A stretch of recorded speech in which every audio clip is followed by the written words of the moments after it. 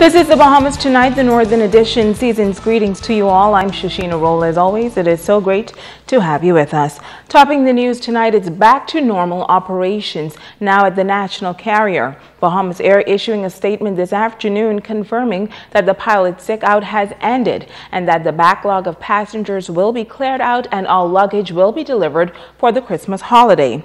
Now, according to the statement, a contingency plan was mobilized through local subservice carriers and wet lease agreements with foreign carriers. However, the Bahamas Airline Pilots Association contacted their union counterparts in the United States who in turn stood in solidarity with the Bahamasair pilots and decided they would not fly as a part of the wet lease agreement.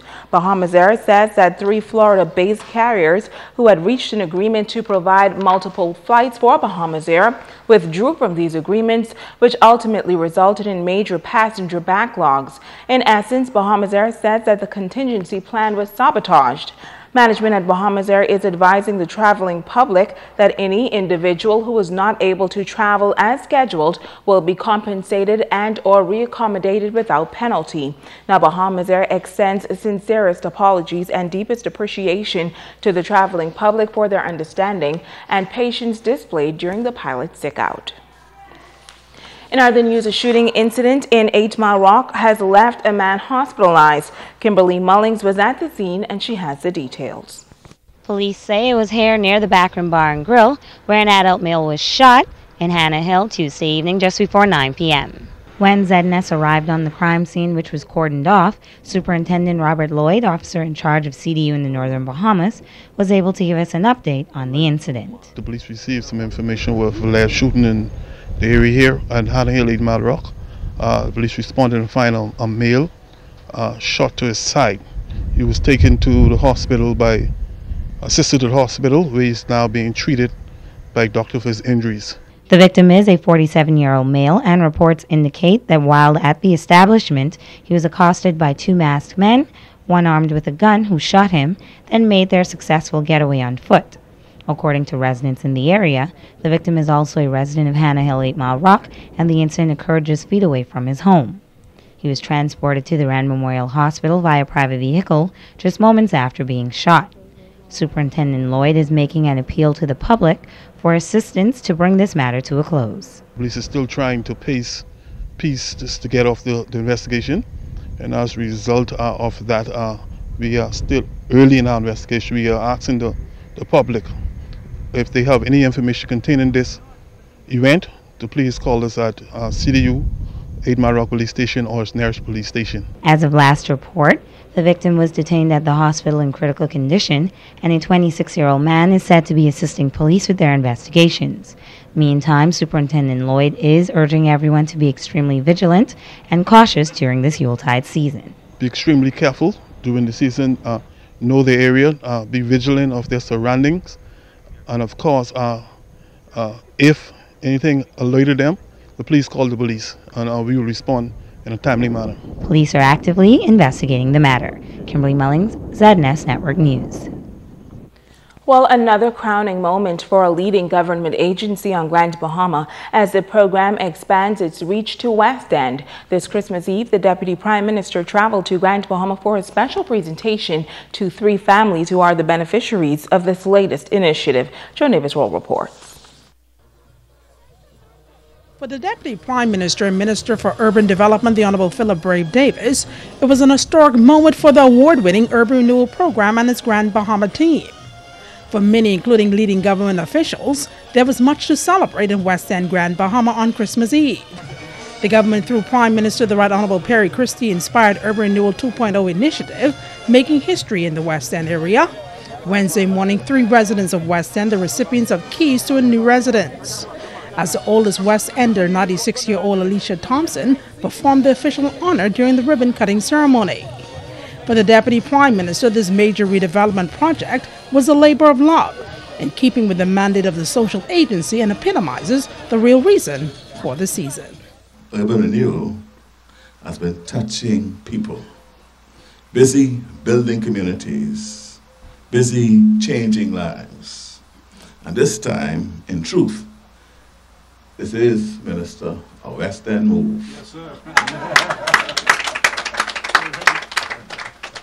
This move is the product of innovation.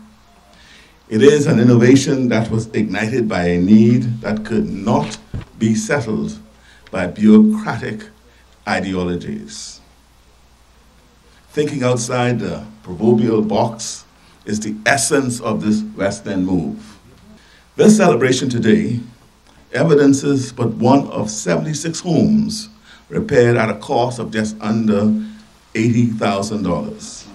Member of Parliament for West End and Bimini, the Honorable Obie Wilchcombe, along with the Deputy Director of Urban Renewal, Michelle Reckley, say this mammoth undertaking transcends politics, promotes Christian charity, and is designed to meet a dire need. Meanwhile, recipients Emma Deal, Talmadge Nesbitt, and Lynette Nesbitt say their new home is a Christmas miracle. Today, we have chosen individuals who receive this wonderful piece of work. These individuals don't represent a political party. They represent human beings. They represent God creations. They represent soldiers of a society, people who all need help. I personally feel that this program is one of the best programs any government can offer. And anyone who does not embrace this program, then something must be wrong.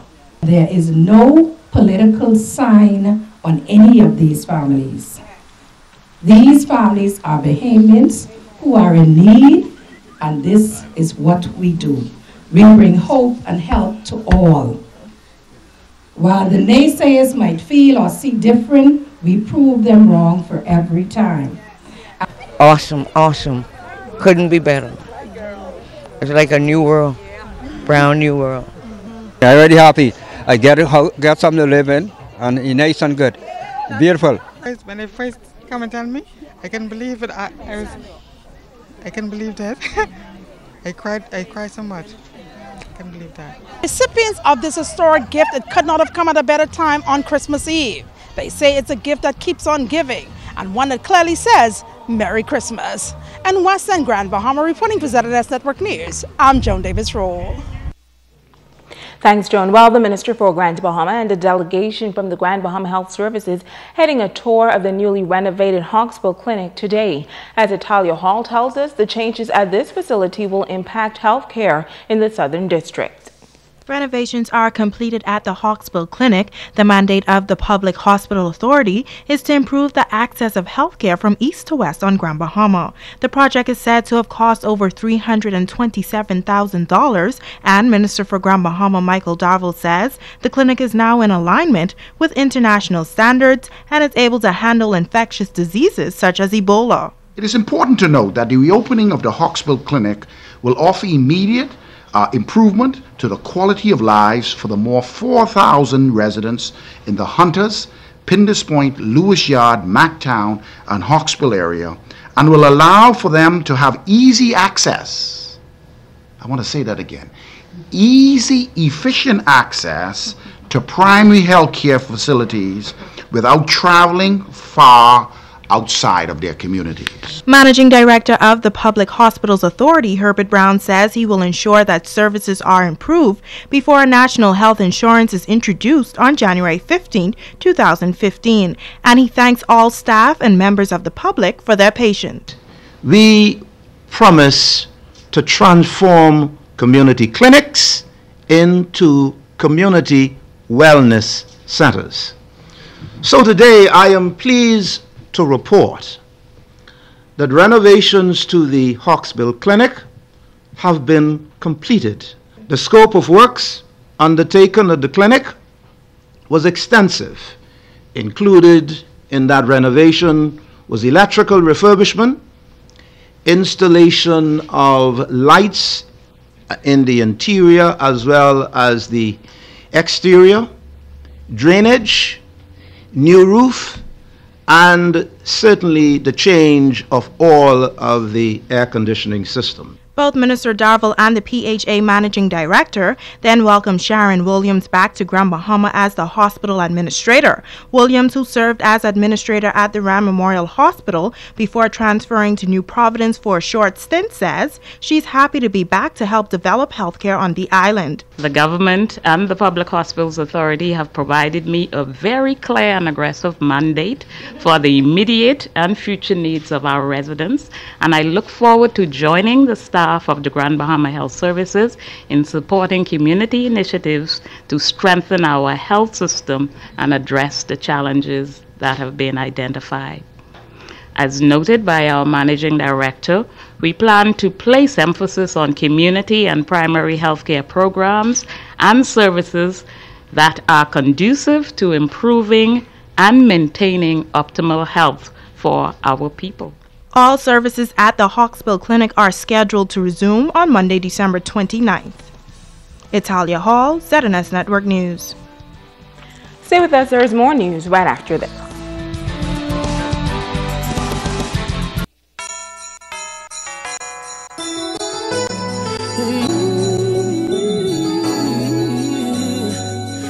Happy holidays from all of us here at the ZNS Network.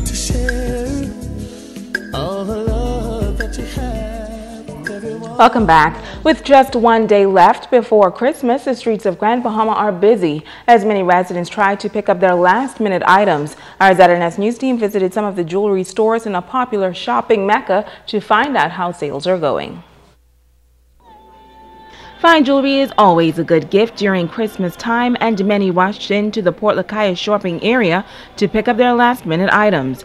This year, manager at Freeport Jewelers, Lauren Madu, says they did things a little different by holding 12 Days of Giving, an initiative that enters customers who spend over $50 into a raffle. She says they also have many sales and specials. We have the Dancing Diamonds, which are very, very popular now. A lot of people would have heard of it. Um, we have the Movado Bold, which is also very popular. We have Ray-Bans, we have Fossil, G-Shock. Um, we have everything, anything, uh, and all the different price ranges. Over at Colombian Emeralds, store manager Sharon Stanford says they are also working hard to assist customers find the right gift. We have sale on gold merchandise as always and our watch department. We always have sales on those pieces and some specialty items as well. Some of our hot sellers this year are definitely Michael Kors. Um, we've been selling pretty much almost all of them, um, but we still have some more. So for those of you out there who still looking for that beautiful Michael Kors watch, come on by. Unfortunately, most stores are reporting that sales have not been so good this year. However, they will remain open late on Christmas Eve. It's a little bit down this year, but listen, we're still um, appreciative and we're still, you know, we still have two days pretty much left. So we're looking forward to some great things happening still, even though the economy is a little bit rough. Well, the countdown is on to the 2015 New Year's Junkanoo Parade here on Grand Bahama. The top groups are hard at it in the shacks getting ready for the big showdown. Tonight, Kimberly Mullings takes us into the Swingers Shack for a preview of what's to come on New Year's Day.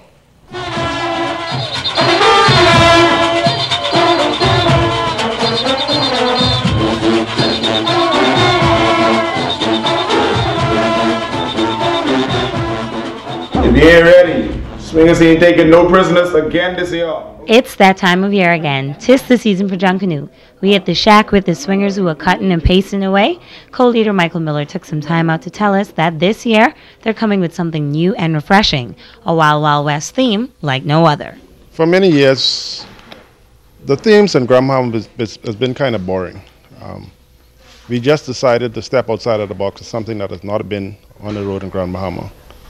Um, and we just decided to give the Grand, the Grand Bahamians um, uh, sort of sight on, uh, or outlook on the Wild West back in the day of the Wild West, the Cowboys and Indians. Miller says if you've ever been a fan of any of the Western movies, you won't want to miss their display of costumes like the Sitting Bull, Buffalo Soldier, Who Shot Jesse James, and the Great Stagecoach Robbery. So you're going to actually see, it's almost as if you actually were in the Wild West. So you can bring your guns and your arrows, your bow and arrows, because um, it's going to be a war between the cowboys uh, it's going to be a war between the Cowboys and Indians out there. Be sure to look out for the swingers who plan to dominate the streets even before the New Year's Day parade. I'd like to say is that we are now the three-time defending champions.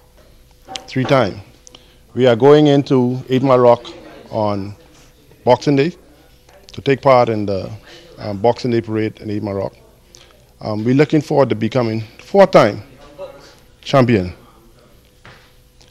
And come New Year's, we're going to put on a show for Grand Bamis, like we always do. Along with the fringing, some of the Junkanooers were streaking their costumes, adding those little details which make such a big difference. And the costume like this take you about two months. It depends on how you, how much time you put in there. You come in the shack, put in some hours.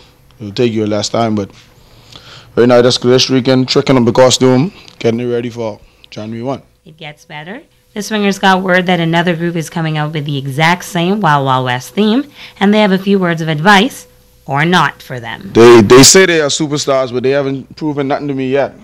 Because every year, the swingers come out and we be victorious. So eh, you're bringing cowboys, don't come with it. You're out. Cowboys, no time. Indians and cowboys, you come. Y'all jump on board, come get your beaten. This year is a different level. So come, be ready. And over. See you New Year's Day. Kimberly Mullings, ZNS Network News. It's over, he says. Well, one concerned citizen doing her best to make this Christmas a good one for some of the less fortunate here on Grand Bahama Island. For the ninth consecutive year, the kitchen at Foster B. Pestaina Center will serve as a feeding center this Christmas Day as Cabrina Bo Adderley and friends cook up a scrumptious meal for the needy of the community. This labor of love, she says, is in memory of her mother who passed away in 2004. I'm a member of Modern and Accepted Mason and my determination to help people because there are a lot of per persons who are hurting and they need help, but they do not want to be publicized and they want to be treated like everybody else. I normally feed all the home for the aged. Okay, we would package their food and normally they'd come and pick them up. We'll have them ready for them. Okay, because I will recontact them already. And so they know tomorrow morning, 11 o'clock, they'll come and pick up all, all the food for their homes. And remember to get your tickets early for the West Grand Bahama District 8 Mile Walk Boxing Day Committee's Junkanoo Rush Out at the Sunset Village in 8 Mile Walk, December 25th and 26th. This historic parade begins at 3.30 a.m. Stay with us. Ricardo Liborn as a check on sports when we return.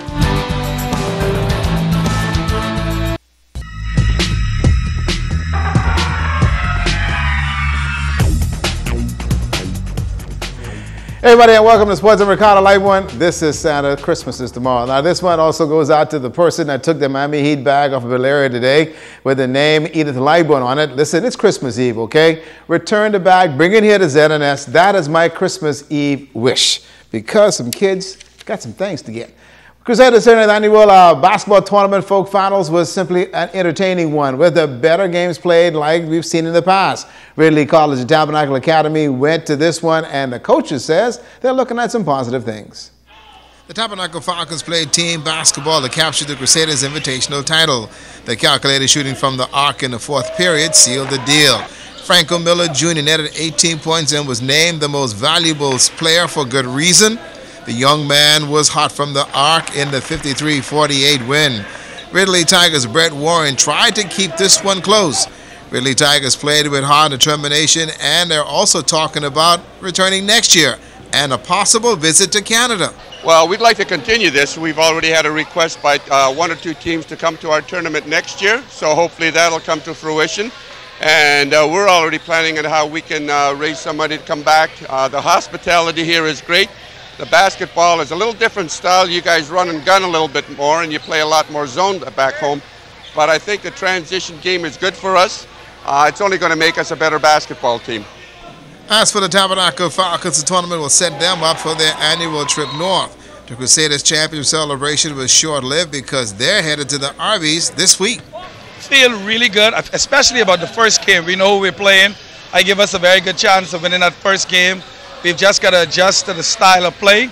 The second game would be a lot tougher, uh, but you know, like I always tell these guys, I can take you uh, to where the opportunities are. You have to take advantage of the opportunities. I, I, there's no scholarships under my table. Coaches will be there. Coaches will see you.